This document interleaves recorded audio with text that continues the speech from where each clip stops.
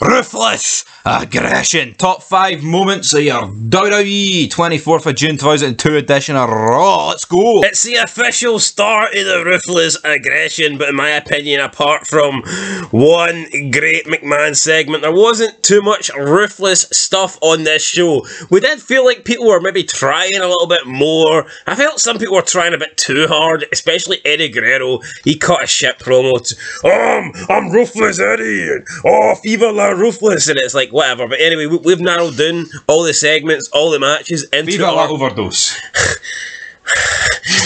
we've, we've narrowed down our uh, top five segments here, and this was difficult. Normally, when you're doing the top five moments, it's difficult because there's so many moments, and you can't pick five. But tonight, it was like it was the opposite. There was barely any good stuff that happened on the show that it was hard to come up with five. But we've done that. We've managed to come up with five. We've got our list. So let's go. Coming in number five is Raven being kicked out the arena after he loses his loser leaves Raw match with Tommy Dreamer.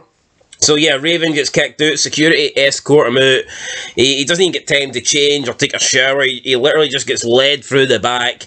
He, he, conveniently, his bag is like waiting for him right beside the, the, exit door. So I guess they must have went into his locker room and grabbed his bag and just planted it there for Plot purposes. He lifts it up, he walks out, he's about to say goodbye, he's about to walk into the cold night here in whatever city we're in. Can't remember the name of the city we were in tonight. But anyway, Matt Hardy's sitting there waiting for him. He's like, hello, Raven. And Matt Hardy attacks him, then tosses him into a car, and then says, uh, you know, get, basically that's his goodbye present. Raven's last appearance is getting beat up by Matt Hardy backstage in the parking lot.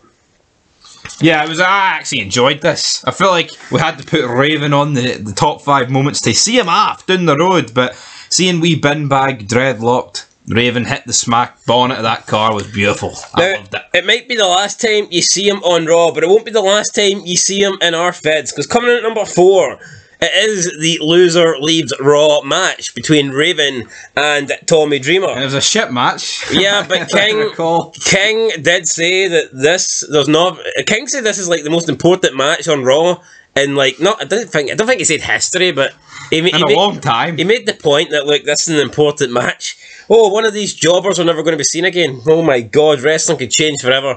Anyway, it was a win for Tommy Dreamer. It was a loss for Raven, and as we know, Raven ends up leaving the building. But yeah, it was an okay match. I mean, Tommy Dreamer literally hit his finisher. No one said anything, and then one, two, three, Raven was gone. So it was kind of weird. Plus, Tommy Dreamer's using a DDT as a finisher as well. So is Raven. It's two guys using a DDT, and just looks like an average DDT. Maybe in ECW it looked better, but in WWE it just when looks like on like ten thousand pounds of thumbtacks. Just looks like a transitional move in my opinion. But anyway, that comes in at number four. Coming in at number three, we have the whole McMahon, there was like a bunch of McMahon seg. There was like one segment, but with several people. We got McMahon.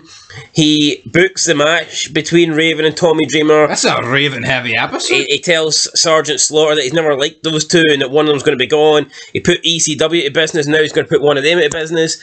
Then he walks into his um, locker room or office or whatever where Jackie Gayda is, and she strips for him, and McMahon is like mesmerized, and then Undertaker walks in and he shits himself, and then Taker just you know gives off to McMahon, rants about nothing really. It wasn't great, but. McMahon booking the match and, you know, just McMahon acting the way McMahon does when there's a hot woman naked in front of him. It's, it's Vincent Kennedy McMahon. You can't get any better than Vinnie Mac at this, man. His facial expressions alone. I mean, you take McMahon out this Raw episode and we're looking at a very bleak Raw. But he carried it and he got the job done, and we love him. I feel like this segment did get worse as it carried on. And as soon as Taker got in, it just kind of died. Ah, kind of died. The dead man. Anyway, up next, coming at number two, we have Goldust impersonating the Crocodile Hunter. R.I.P. Steve Irwin. So he grabs his wee cuddly toy Crocodile, he heads into the NW locker room. He says, "Look at." I think it was plastic. Actually, I don't think it was cuddly. Cuddly, fucking scuddly, man. The, the showopotamus is in there. He's like, "Look at this big, ugly, fat bastard." it's a rare showopotamus. Uh, it's sleeping. He got like blindfolds on or something like that, and then X Pac comes out and he's like, "Oh, it's a, it's a bandana rat, sewer rat." I know for the sake of the segment, it works if he's sleeping, but why is he sleeping? He's a big fat lazy bastard. That's pretty much it. But yeah, this leads to X Pac chasing Goldust and then a trash can led to the coupon of X Pac. By Booker T. And Booker T tells X Pac, Can you dig that sucker? And X Pac obviously couldn't dig it because he was laid out on the concrete. So, aye, that is our top or our bottom four moments, I guess. Four, five through to number two. Coming at number one, though, it had to be this one. It was Vince McMahon basically cutting the promo that officially starts the ruthless aggression era. Some people argue that it kind of started in the brand split, but I think this is the official start point.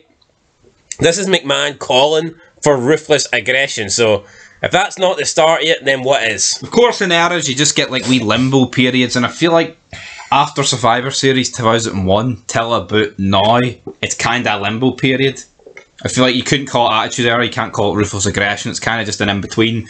And this is the beginning of a new era, even if it felt very similar to, like, you know, the rest of the, uh, like, the Raws before. I feel like in the next couple of weeks when you see, like, Cena come in, slap angle, Ruthless Aggression, Brock becoming champ, that's when you properly get the Ruthless Aggression. But Vinnie Mac did a great job here, showing why he's the man and why we need him. 2023, bring him back kick Triple H because Triple H is shite. See all those mentally ill people Triple H brought back to the roster, send them back to fucking TJ.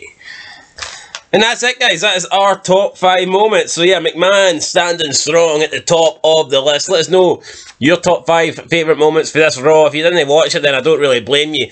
You can just basically watch the opening segment and then tune off if you want it. Wasn't that great, but I tell you what, McMahon's always great. Till next time, we'll catch you in the next video. We've been Fog Wrestling. Thanks for watching, and peace.